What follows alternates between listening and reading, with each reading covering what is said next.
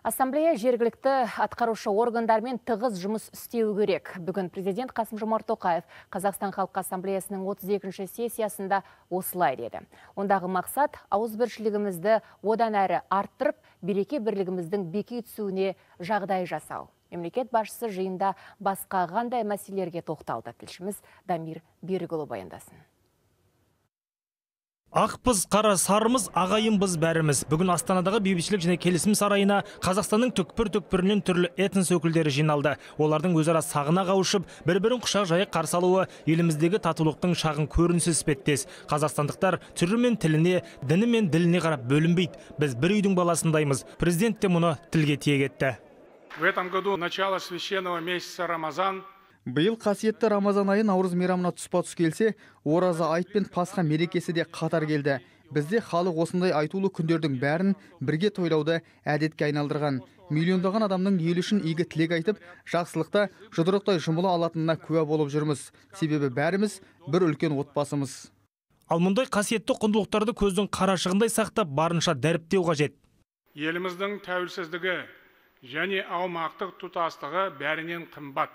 Ел бірлігі осы мызғымас құндылықтармен қатар тұруға тиіс. Сонда ғана болашағымыз баянды болады. Татулық пен келісім тек мемлекеттік саясатта емес қоғамда үйде ұжымда жалпы барлық жерде дәріптелуі қажет. Бұл жалаң ұран емес әр азаматтың күнделікті ұстанымы болу керек.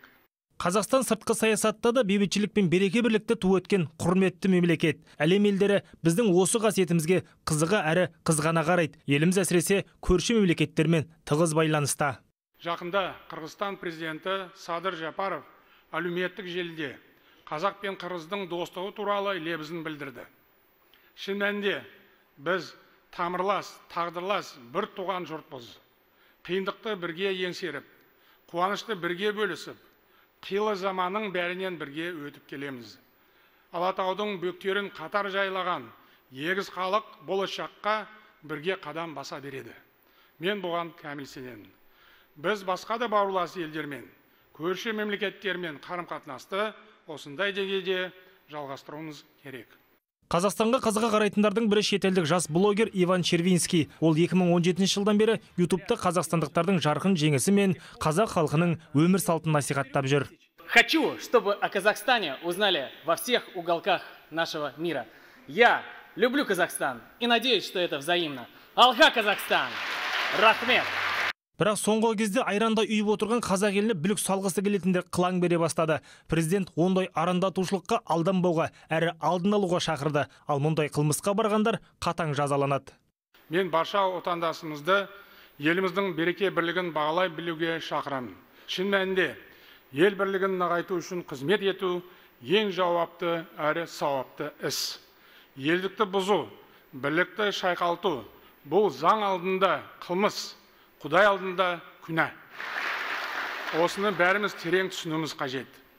Мемлекет басшысы елде жүргізіліп жатқан саясатты әсіресе шалғайдағы аудан ауылдарда халыққа жете түсіндіруді тапсырды. Бұл істе ассамблея мүшелері көшбасшы болуы тиіс. Себебі олар бірлік елшісі. Президент жиында қазақ тілінің мәртебесіне де тоқталды.